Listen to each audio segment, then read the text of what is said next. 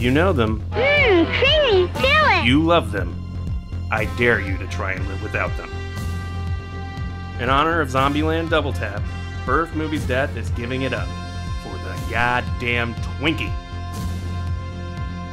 What is a Twinkie? Sugar enriched flour, partially hydrogenated vegetable oil, polysorbate 60, and yellow dye number 5. Just everything a growing boy needs. It certainly does not come from nature. As much as I'd love to find one, I don't think there are Twinkie trees out there. Instead, the Twinkie is some kind of non biodegradable cake stuffed full of sweet, sweet cream. That doesn't sound like much, but there's magic there. Bring me back the Twinkies! Maybe it's because of the way their yellow color stands out.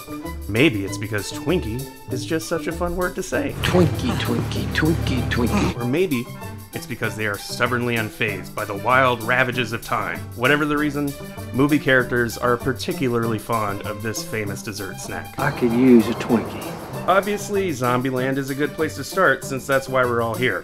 As I'm sure you remember from 10 years ago, Woody Harrelson's character Tallahassee famously craves Twinkies Where's the fucking Twinkies? and searches the entire zombie apocalypse for them, even putting himself in danger just for a chance at its creamy goodness. You're gonna risk our lives for a Twinkie? There's a box of Twinkies in that grocery store. Not just any box of Twinkies, the last box of Twinkies that anyone will enjoy in the whole universe. Believe it or not, Twinkies have an expiration date. Spoiler alert Daddy gets his fix.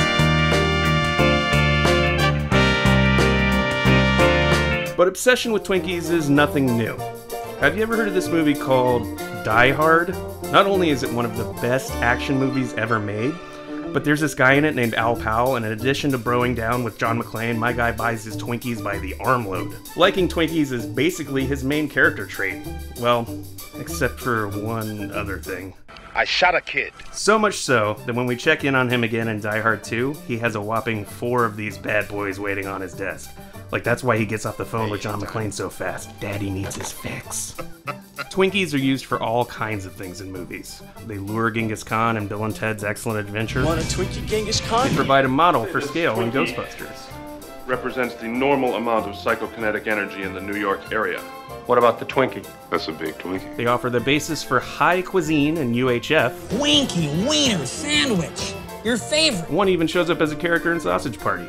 Movies especially love to remark upon a Twinkie's ability to laugh in the face of natural laws. They show up in WALL-E and Mortal Engines as snacks you can still enjoy no matter how far into the future you go. Best before 2118.